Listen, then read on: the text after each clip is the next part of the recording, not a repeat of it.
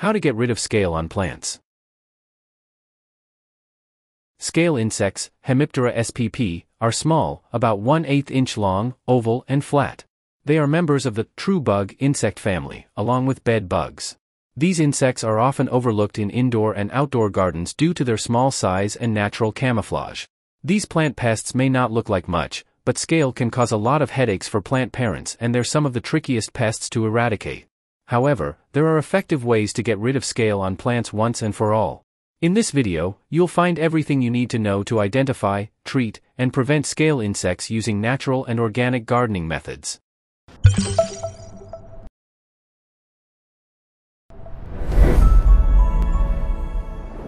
Welcome to The Guardian's Choice. This video will tell you how to recognizing scale insects and damage, removing scales on houseplants, removing scales from the garden, and horticultural oil precautions.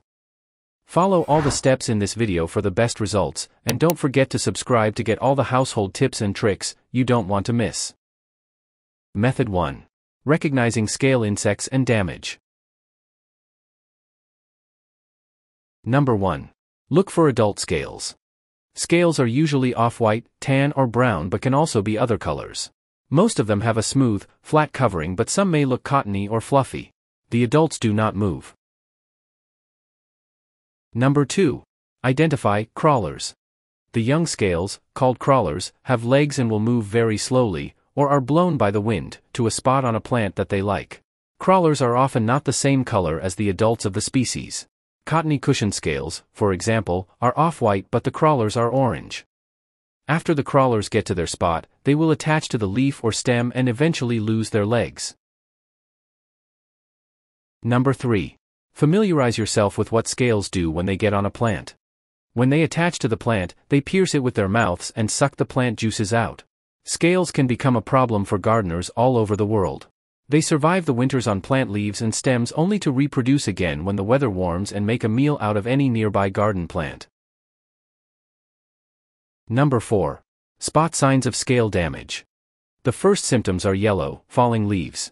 Eventually twigs and entire limbs die and the tree bark cracks and oozes sap. Soft scales will do some damage but they rarely do enough damage to kill a plant. The most serious problem they cause is honeydew which is a clear, sticky secretion they leave behind as they feed. Aphids, small, soft-bodied insects excrete honeydew as well. They are usually green or red, although they can be nearly any color, and are more mobile than scale insects. Sooty mold, a fungus, will often grow on the honeydew causing unsightly dark spots on the leaves and interfering with the plant's ability to absorb sunlight. Did this video help you? Let's comment below, yes or no. Method 2. Removing scales on houseplants. Number 1. Rub the scales off your plant. Scales can attack houseplants, even if they are never put outdoors. They often go unnoticed at the greenhouse or store where the houseplant is purchased and flourish on the plant after it is brought home. Remove scales from houseplants by rubbing them off with an old toothbrush, your thumbnail, or a cotton swab dipped in isopropyl rubbing alcohol. Number 2. Try using insecticidal soap. Insecticidal soap can also be sprayed on houseplants to kill scales. Mix about 5 tablespoons of insecticidal soap or a very mild dish soap into 1 gallon, 3.8 L, of water.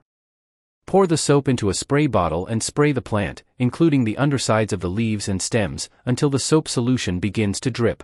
Repeat the treatment every 4 to 7 days until the scales are gone. Number 3. Avoid using regular house soap. Do not use laundry soap, automatic dishwasher soap, or highly concentrated dish soap that has additives or antibacterial ingredients. They can damage the plant leaves, causing discoloration and leaf tissue damage. Did this video help you? Let's comment below, yes or no. Method 3. Removing scales from the garden. Number 1. Use the same methods as those used for houseplants. Use the same methods as those used for houseplants when fighting a small-scale attack. Scales are most prevalent outdoors where they infest all species of trees, shrubs, perennial plants, and annual plants. When the plants are small enough and infestation is not too severe, get rid of the scales in the same way as you would houseplants. Scrub the scales off with your nail or an old toothbrush. Spray the plant with an insecticidal spray every 4 days or so. Number 2. Prune away parts of the plant that are infested with scales. When the scale infestation is severe, use sharp hand pruners or loppers to trim off branches and leaves which hold high concentrations of these insects. Make the pruning cut about a quarter inch above a leaf or at the base of the branch. Use a garden hose to spray off the pruners or loppers before using them on another plant to remove any scale insects that may be left on them. Number 3. Spray the plants with horticultural oil. This is also commonly called summer oil or dormant oil, to kill any remaining scale insects. Spray the oil on the tops and bottoms of the leaves as well as the stems. There are various horticultural oil formulas on the market that are all equally good. They are commonly mixed at a rate of 2 to 4 teaspoons per gallon of water, but this varies. Read and follow the manufacturer's recommendations carefully. Shake the spray bottle vigorously to mix it initially and every few minutes while spraying to keep the oil mixed with the water. Number 4. Keep the seasons in mind. Spray the plants in early spring to kill any scale insects that have survived the winter before new growth starts. During the summer, spray the plants for scales in June, July, and August, but only if they return after the early spring treatment. Horticultural oils work by smothering the scale insects that are on the plant when it is sprayed. The treatment may have to be repeated after a week or two. Did this video help you? Let's comment below, yes or no. Method 4. Horticultural oil precautions. Number 1. Test the spray on a leaf or two. Wait 24 to 36 hours to make sure the plants are not sensitive to horticultural oil. Some plants, like junipers, cedars, and Japanese maples, can be damaged by oil. If there does not appear to be bleaching or yellowing on the test leaves, go ahead and spray the whole plant. Number 2. Avoid windy days. Do not spray plants with horticultural oil when it is windy as the oil could drift to other plants that do not need to be sprayed and damage them. Number 3. Do not spray plants when the leaves are wet. This is because the oil will not make good contact with the plant and could be washed off before it kills the scales.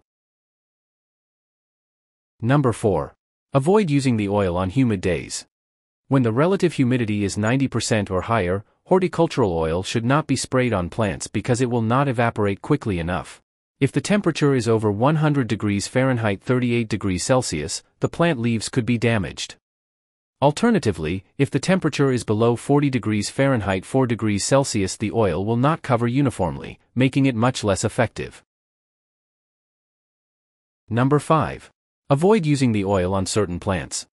The leaves on plants that are stressed or wilting from lack of water are more likely to be damaged when sprayed with horticultural oil. In addition, do not spray oil on young, new plant stems or leaves as it will likely damage them. Plants that have been treated with sulfur for fungal diseases within the previous 30 days should not be treated with horticultural oil. The oil could cause a plant damaging reaction when it comes in contact with the sulfur. Number 6. Wear protective glasses when using the oil. Horticultural oil is not very toxic to people or animals but it can irritate the eyes and skin.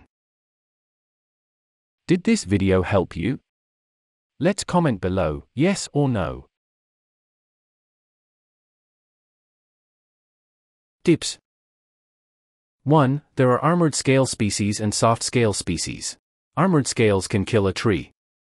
Choose the method that works best for you and your situation, and help to reduce scales infestation. Follow this channel to learn many more household tips, tricks, and life hacks like this.